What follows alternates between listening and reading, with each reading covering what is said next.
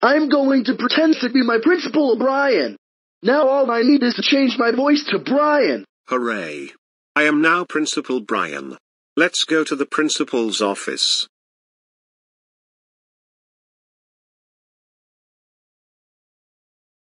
Hey. Who are you? I am Principal Brian. No you're not. I am Principal Brian. And what are you doing in my office? Wait a minute. Macusoper report to my office right now. Yo, Principal O'Brien, what's up? Were you the one that's pretending to be me? Tell me the truth right now. Yeah, so what you gonna do about it? Oh, no, no, no, no, no, no, no, no.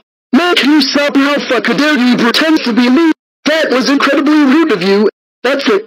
You are suspended for nine weeks. Go the fuck home right now. Macusoper Kittery Benson Busters. How fucking dare you pretend to be your principal? That's it you are fucking grounded for 100 more weeks.